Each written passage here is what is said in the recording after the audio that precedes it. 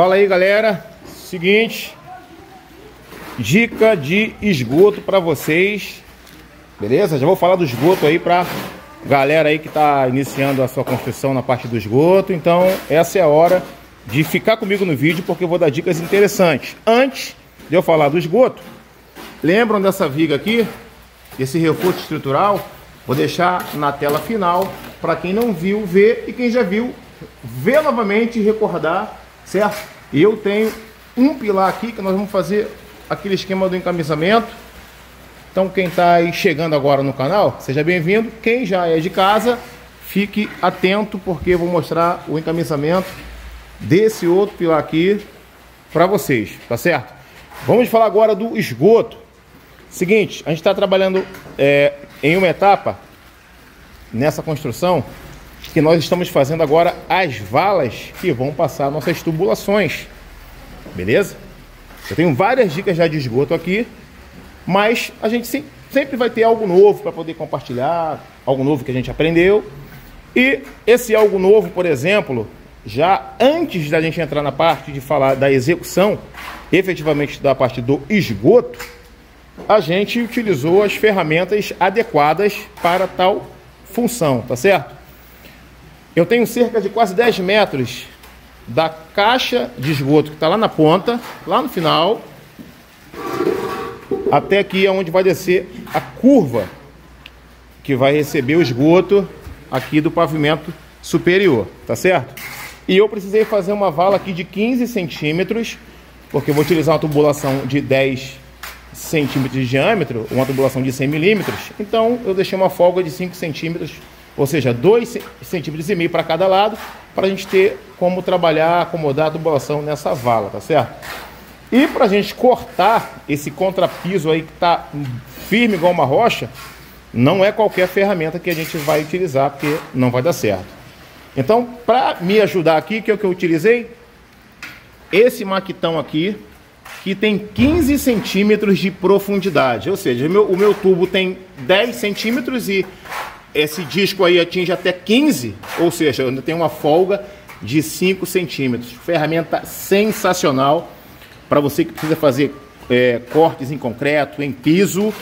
Essa ferramenta eu indico para vocês e eu aluguei lá na Tecnobre, que vocês já ouviram falar algumas vezes dessa, dessa empresa aqui no canal. Isso aqui é alugado na Tecnobre e eu tenho várias ferramentas da Tecnobre alugada ou compradas aqui nessa construção, tá certo? Esmerilhadeira, serra mármore, é, martelete rompedor, martelete de 10 quilos. É, aliás, esse martelete aqui ele é um martelete rotativo, tem logo dois. Esse aqui é rompedor de 10 quilos, rompedor, martelete rompedor de 18 quilos. Nível a laser, ó, já tá até ali, porque a gente está tirando nível também aqui por essa parte. Zé Maria tomando um cafezinho ali, a rapaziada interagindo, porque a gente está correndo com essa construção.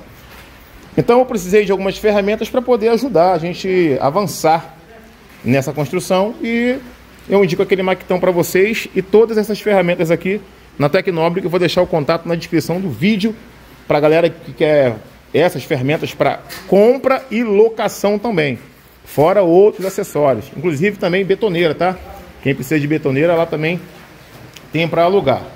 Seguinte, eu vou descer com a minha tubulação de esgoto Olha só, já deixei aqui alguns prolongadores, como nós chamamos, né?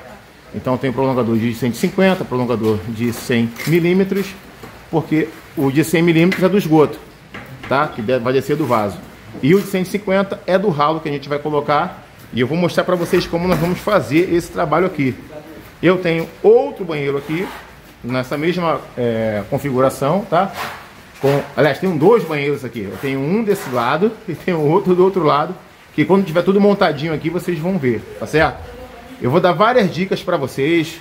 Como você fazer a sua instalação da sua é, parte de rede, é, esgoto sanitário para você utilizar na sua construção ou na sua casa. Eu já tenho vários vídeos falando de esgoto aqui no canal, mas tem coisa nova para mostrar para vocês. Eu vou dizer para vocês qual é a porcentagem que você precisa dar na sua tubulação para que você tenha um caimento é, suave e tranquilo e você não ter problema do seu esgoto entupir.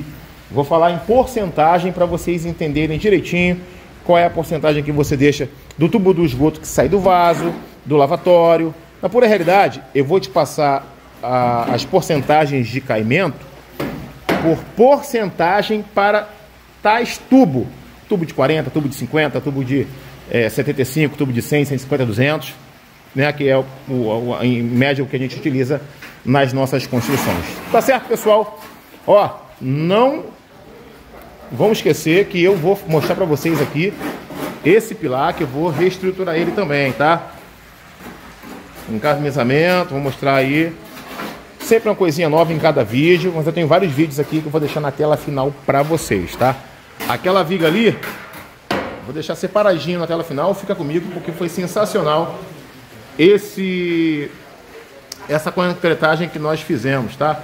E para fechar, nós encamisamos também aqui esse pilar, que é um pilar de concreto, eh, um pilar metálico, que nós encamisamos e concretamos com concreto normal, não utilizamos o grout para esse caso, tá?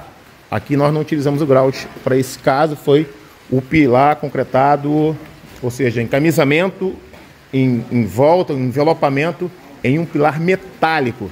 Vou deixar para vocês aqui também. Só que esse aqui vai ser grauteado, tá? Vai ser grauteado.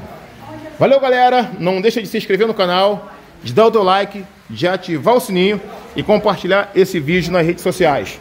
Vou deixar aqui na descrição do vídeo, no primeiro comentário, o site da Tecnobre para a galera aí ter ferramentas de qualidade nas suas construções. Para locação e para compra. Um forte abraço e até o próximo vídeo. Valeu, galera. Tamo junto.